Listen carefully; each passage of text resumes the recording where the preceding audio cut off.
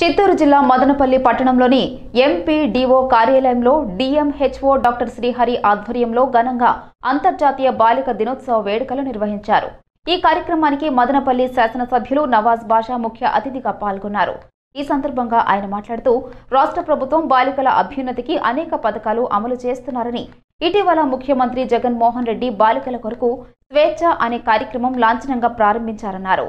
ఈ కార్యక్రమంలో డివిజన్ పరిధిలోని ఏఎన్ఎంలు ఆశా మరియు అంగన్వాడీ కార్యకర్తలు పాల్గొన్నారు.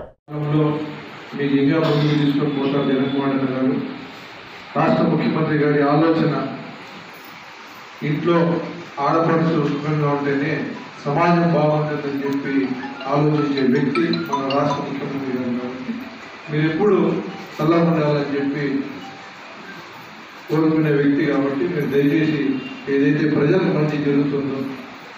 నిత్యం ప్రజల కోసము మనము పనిచేస్తున్నాము మనమందరం ఒకరు సైకిల్ చైన్ లింక్ మరి ఒకరు ఒకరు లింక్ కాబట్టి అన్ని రంగాల్లో కూడా ఏదైతే ఇప్పుడు డాక్టర్ రంగం మెడికల్ ప్రొఫెషన్ ఉందో ఎడ్యుకేషన్ ప్రొఫెషన్ అన్ని రకాలుగా మీరు అందరూ ముందుకు తీసుకొని పోయడానికి గవర్నమెంట్ సహకరిస్తేనే మీరు అందరికీ బాగుంటుందని చెప్పి తెలియజేసుకుంటూ అలాగే మీ అందరూ తెలుసు ఈరోజు రానునేడు నేడు నేడు అని చెప్పి ప్రోగ్రాంలో మీరు ఎన్నో సంవత్సరాల నుంచి కూడా పనిచేసుకున్నారు నాడు నేడు ప్రోగ్రాంలో కూడా ఎంత అభివృద్ధి చేసి ఇప్పుడు మదనపల్లిలో కూడా ఒక పిహెచ్సి సెంటర్ ఉండే ఇంకా మూడు పిహెచ్సి సెంటర్ శాంక్షన్ చేశారు.